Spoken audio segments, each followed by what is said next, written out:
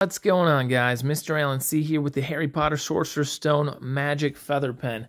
And boy, I'm loving the packaging. I couldn't be more excited about this. Let's take a look. What's in the box? Wow. Look at this. We have some very special items here. So we have the Harry Potter Magic Feather Pen to start with. Let me get that out of the box. Absolutely incredible. I bet Harry Potter would be honored to use this pen. We also have some very special Harry Potter charms. Of course, the official seal there from Hogwarts. We have various pen tips for our magic feather pen from Harry Potter here. And here's our ink dipper and the ink itself. I'm excited to put this to use. All right, so this is actually a pen holder.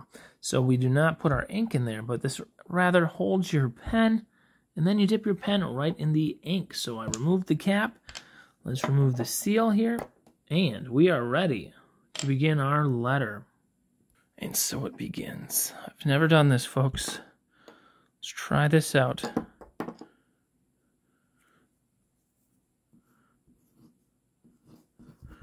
Dear Hagrid, I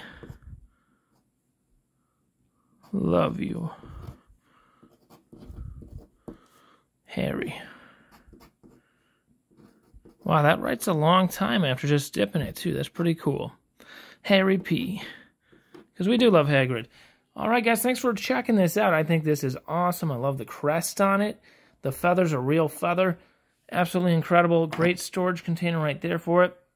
I will see you next time. Bye-bye.